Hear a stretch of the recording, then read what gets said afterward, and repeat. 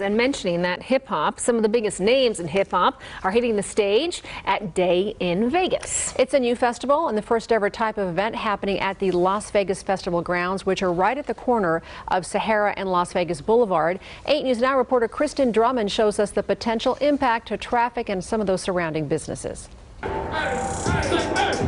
Ready for a good time. Just enjoy the music. Feel the music, just be and in the crowd, with- feel the moment. people. Many walk along Las Vegas Boulevard to attend Day N Vegas, a three-day hip-hop festival bringing in more than 100 artists and big names to the Las Vegas Festival grounds. I like it. It's a different uh, scene. Roughly 60,000 tickets were sold for the inaugural weekend event, according to an MGM spokesperson, but there's no parking at the venue. Uh, where did you end up parking? Uh, Palace, Palace Station Hotel. Uh, right here. I don't know if that's probably a good spot or not.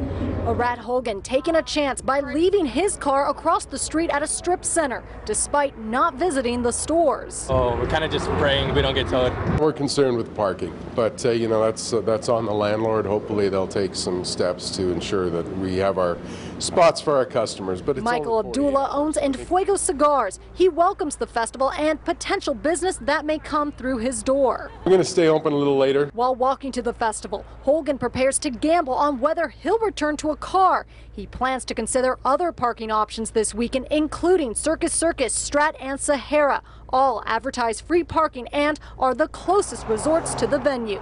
Kristen Drummond, 8 News Now. Now, if you don't want to worry about parking, it is suggested that you take rideshare or a taxi, but expect a lot of traffic around that area if you're heading out to the strip for the weekend.